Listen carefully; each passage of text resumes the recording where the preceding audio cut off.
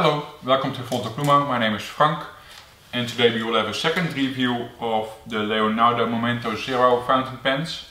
We did one a few months ago when we first had them in stock um, with the colors which were available at that time and by now they came with uh, a few more colors in resin. Um, they're really pretty and we just wanted to show them. So there are three colors.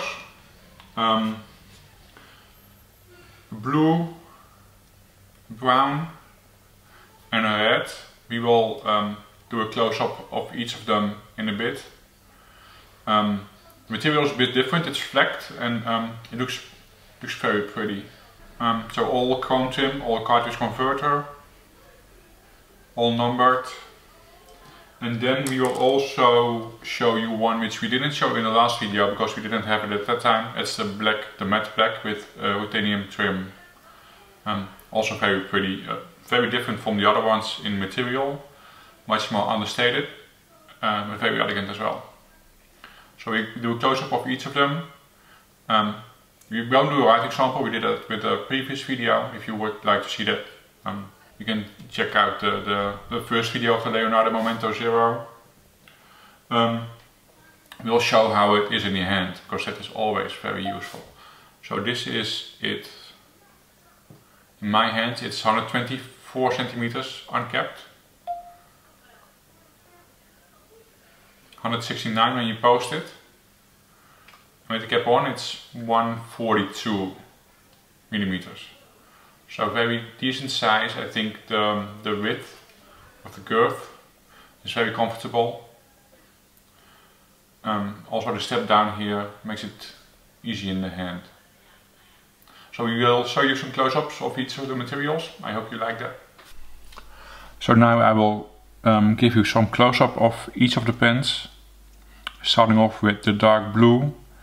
Um, the lovely of the material is that with the dark and the lighter uh, sparkly um, bits vary and um, it gives the pen a lot of uh, liveliness. So you see the, the, the lighter with sparkle and the darker parts. Each pen will be different, so um, you will always get a unique pen. Um, trim is silver color. It's a cartridge converter, which you can either fill from the back, so just take off this cap and then fill it from the back, or you can just unscrew the section and then fill it like the cartridge converter as you would do with um, most other pens. Then we have brown. It's dark brown with some lighter spots and like I think it goes to a black, but then again my color uh, awareness may not be as good as some. So at least to me it's like a black and then with uh, different shades of brown in it. Also the, uh, the silver color trim. Here we are uncapped.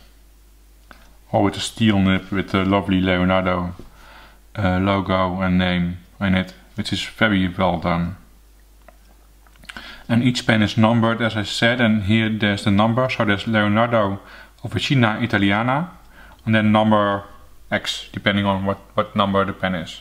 So this is the red one which is like a burgundy uh, red, it's very deep red.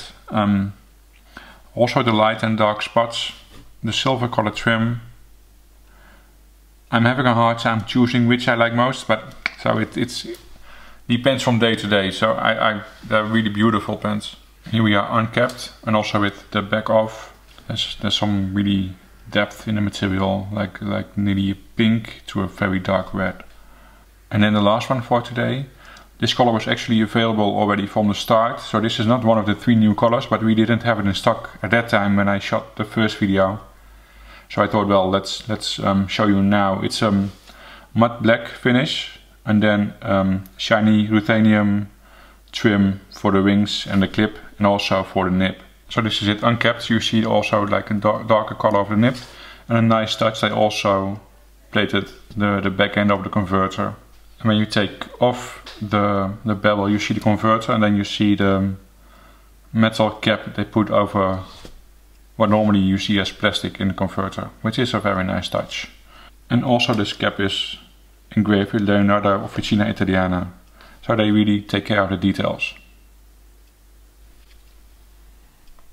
So that was it. I hope you enjoyed them. If you have any questions, please let, it, let me know. Uh, send us an email, leave a comment or share us a chat and we will get back to you. Thank you. Bye.